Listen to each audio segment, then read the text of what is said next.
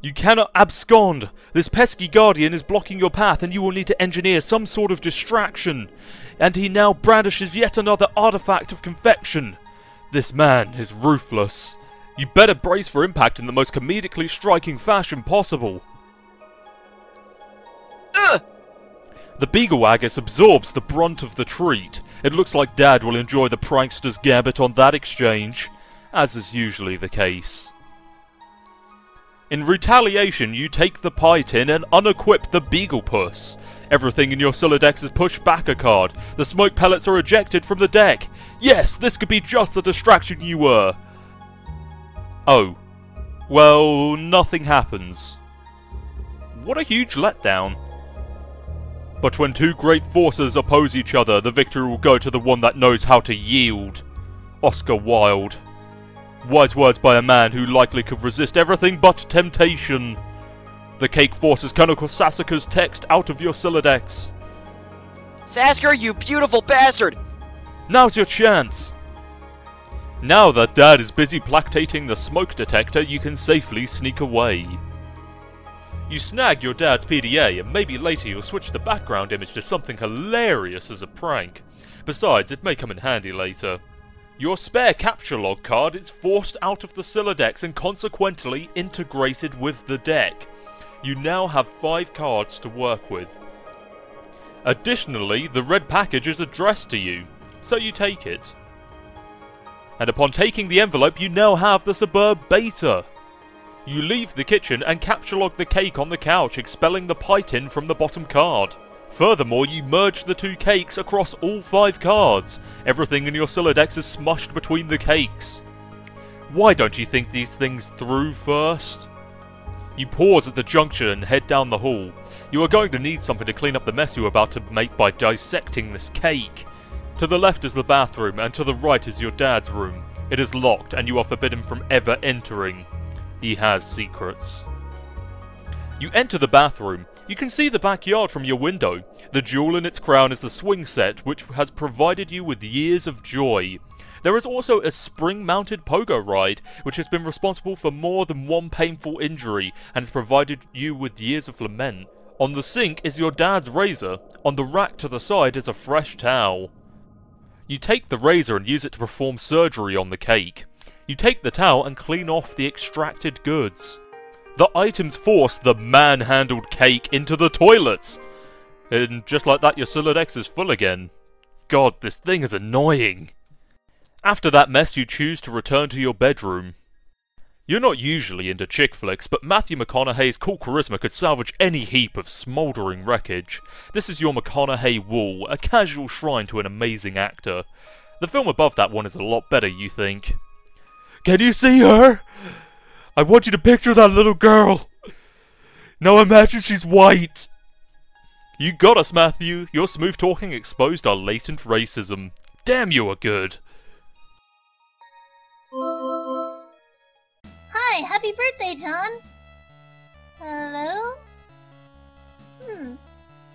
Okay, I will talk to you later. Hey, Gigi's looking for you. Why are you even so popular all of a sudden? Is today some sort of special occasion or something? Did you do something to curry favor with the ladies? Did you break your leg on a puppy or some shit? Dude, what are you doing? I discovered a comet is going to destroy the Earth. It was named after me. Now I'm famous and everyone wants to talk about me a lot. No, stop. Just no.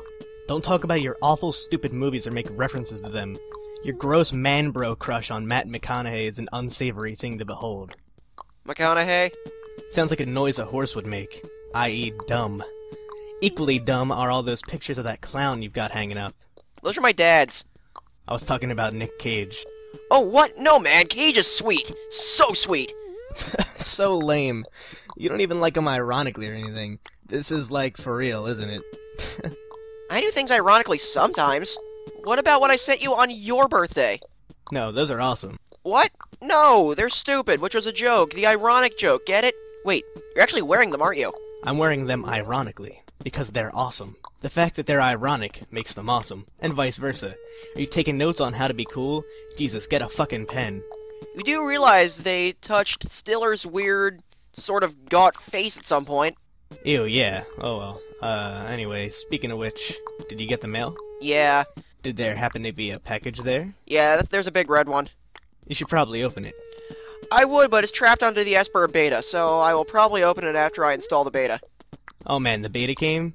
Yeah, wanna play it? no way. Why not? It sounds so hells of boring, just get TT to play it. She's all about that. Where'd she go?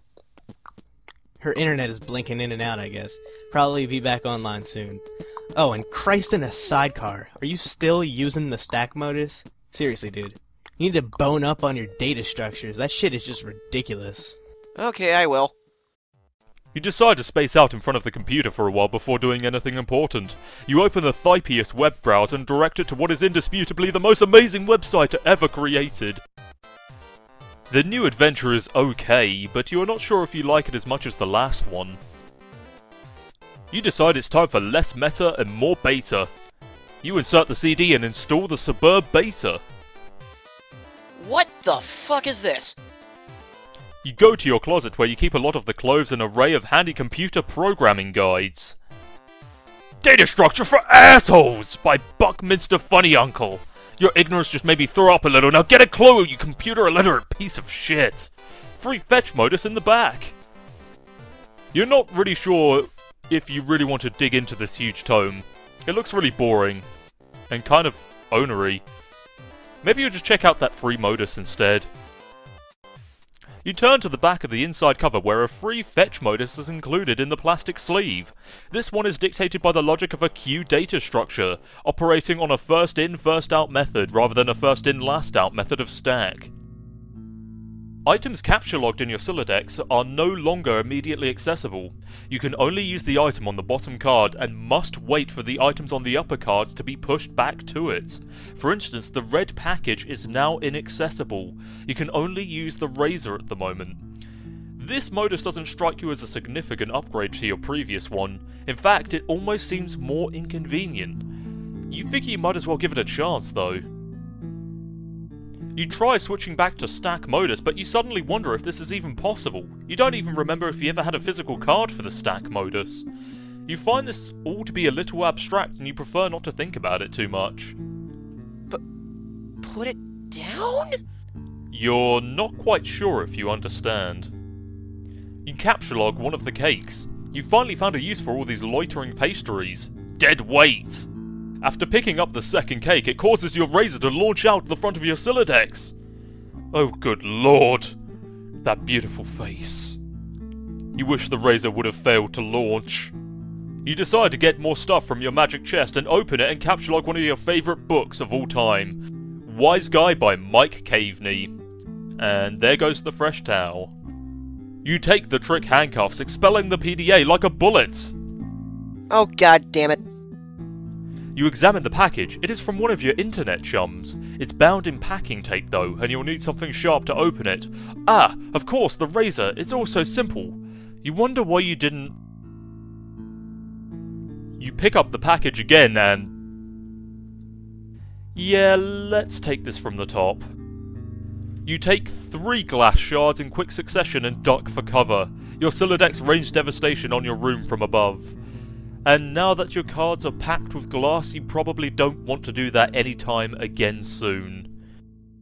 Also, you should probably go and get that stuff before you forget about it. You use the razor to open the package and there is something suspicious inside. Something suspiciously smelly and dirty. It is a stuffed bunny, much like the one held hostage briefly by Malkovich Cyrus the Virus while taunting hard luck protagonist Cameron Poe and strikingly similar to the one scooped up from the soot of a burning Vegas City strip by Cage Poe and offered to his daughter. A gesture symbolic of a tattered exterior surrounding a heart of gold. Poe wasn't much to look at, but he was a good man. But no, it is not merely like that bunny. According to the note of authenticity, it is the very same bunny. This is so awesome.